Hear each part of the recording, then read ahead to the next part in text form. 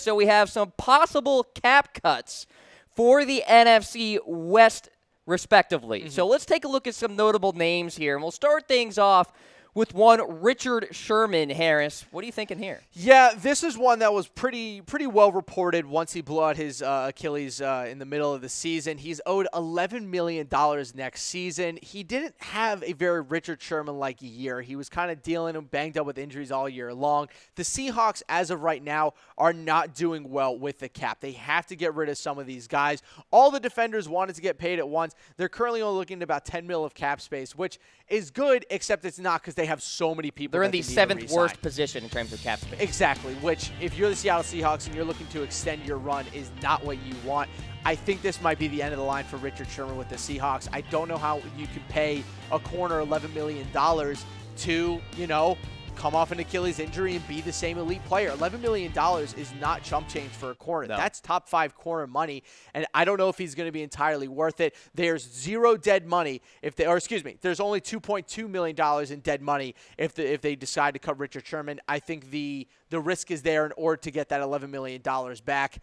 I, I think this is more likely than not. I, if we were giving out heads, I would give this one three Goodell heads. I'll put it that way. So Sherman would be making the same amount as one Aqib Talib that next season. Let me put it this way: Which one would you rather have for that price? It's you really know? difficult to say. I'd probably take Talib. Just right. he's not coming off of a debilitating exactly. injury. Look, I'm I'm no doctor. We'll never claim to be a doctor but the Achilles is very, very important if you're going to be a corner or just a professional athlete in general. That quickness, that power that he's been able to generate uh, when he's playing press man coverage on the outside, that's made him so iconic and possibly a borderline Hall of Famer, maybe not even borderline anymore.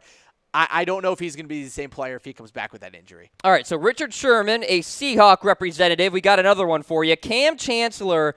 This one does not make as much sense as it would for Richard Sherman because if he was released, talking about Chancellor, it would charge the team 19.5 mm-hmm. million, and it is so high because 7.5 million of his signing bonus would accelerate, plus the 12 million fully guaranteed that would kick yeah. in. So what, why we have him on this list is not necessarily because he might get cut pre June 1st, is that he might get cut later in, in the offseason because he might end up retiring, or the Seahawks just can't pay him because he's coming off of a really debilitating neck injury.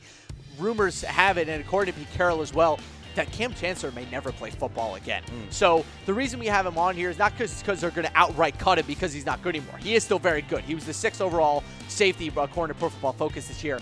But at the same time, if he's not playing football ever again and they don't want to pay him $7.5 million, they might just have to eat that dead money and move on from him and let him go find somewhere to go. We saw the Denver Broncos do that this past offseason with TJ Ward. So it's not exactly unfounded, but – that injury that he and Cliff Avril both suffered, they actually ended up suffering the same kind of neck injury. Both of them might not play football uh, for the rest of their careers.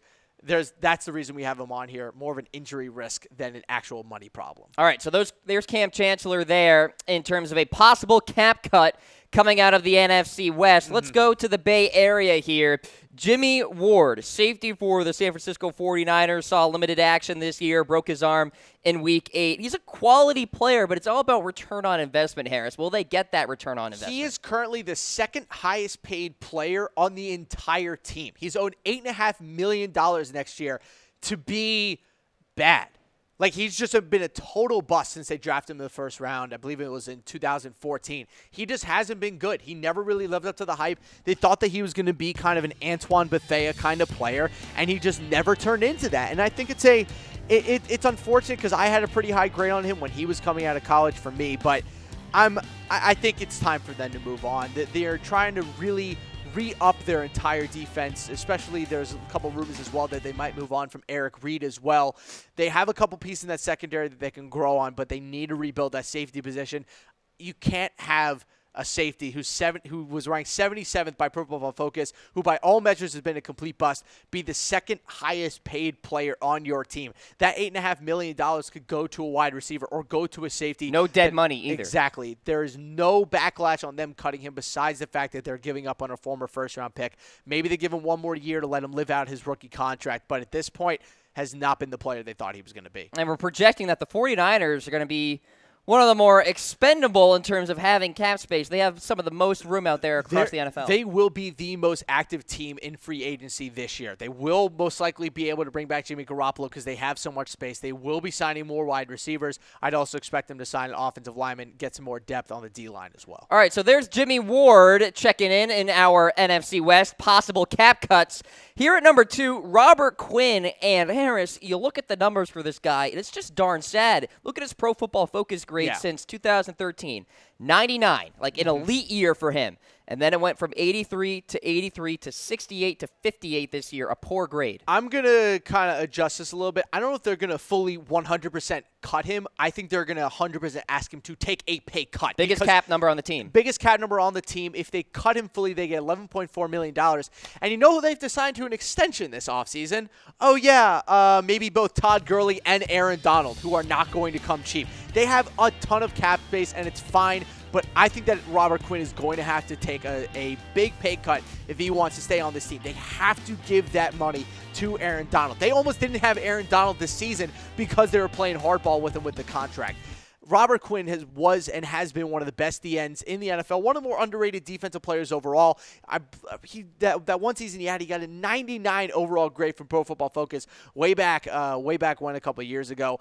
I think it might be time for them to either move on or ask for a pay cut. The production just isn't there anymore. And between him and Andrew Whitworth, they're giving out 24 million dollars. The two highest paid players are also two of the oldest players Yep. on the entire team.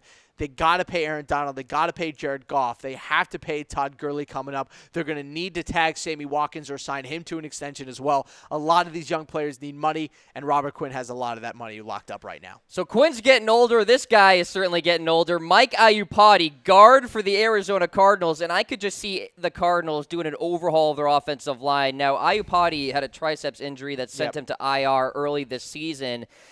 And his pro football focus grade dipped from 2015 to 2016, so it's getting worse. He's 30 going on 31, and the Cardinals currently have the fifth worst, worst cap space right now. Yeah, and I think they need to free up some money. He's been injured two of the past three seasons with some pretty debilitating injuries. And look, he's a good guard. He's solid. Like when he comes in, he's decent. But at the same time, is he a TJ Lang, uh, TJ Lang who went to the Lions Or and was a Pro DeCastro? Bowler this year, No. or David Castro? No, he's not. He's a decent guard. He'll get picked up by somebody at a way lower amount of money than he's given. I'm sure he'll end up with like a three-year contract for about 15 or 16 million dollars, maybe 5 or 6 mil from another team that really needs a guard, but at this point with the Arizona Cardinals needing both a quarterback plus a head coach plus wide receivers and really they really need to reshape that entire offense. I think it's time for Mike Iupati to go. Another name for the Cardinals to look at. I think they also might cut Jared Veldheer, their left slash right tackle, wherever they want to have him as the day goes on. I, I think it's time for them to move on from a lot of the older guys in their offense. There's also rumor that they might cut Tyrann Mathieu as well. I think that's Wow. crazy because there's a lot of dead money if they do that. But the the the rumor is out there. All right, so those are your candidates coming out of the NFC West: Richard Sherman, Kam Chancellor, Jimmy Ward, Robert Quinn, and Mike Iupati as possible possible cap cuts there out west.